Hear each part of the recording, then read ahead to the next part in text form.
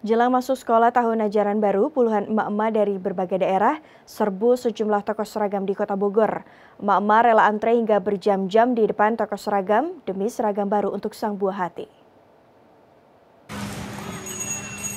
Puluhan emak-emak dari berbagai daerah serbu sejumlah toko seragam di Jalan Raya Paledang, Kota Bogor. Jelang masuk tahun ajaran baru tingkat sekolah dasar, sekolah menengah pertama, hingga tingkat sekolah menengah atas pada Senin 18 Juli nanti, membuat sejumlah toko seragam dipadati sejumlah pembeli untuk membeli berbagai perlengkapan sekolah. Meski harus antre dan berdesakan, sejumlah pembeli mengaku belanja kebutuhan seragam sang anak harus dilakukan untuk mendapatkan seragam sekolah sebelum masuk tahun ajaran baru nanti. Mau beli seragam sekolah lihat aja. Penuh ya? Penuh. Padat Bu.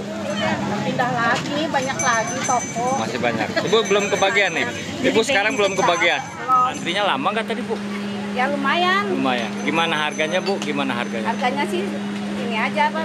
Ya biasa standar lah. Standar ya. Cuman antri ya Bu ya. Antri aja. Ya udah lama nih antrinya tadi. Ada kali dua jam. Diperkirakan sejumlah toko penyedia kebutuhan sekolah akan terus dipenuhi pembeli hingga akhir pekan nanti. Beni Akbar, Bogor.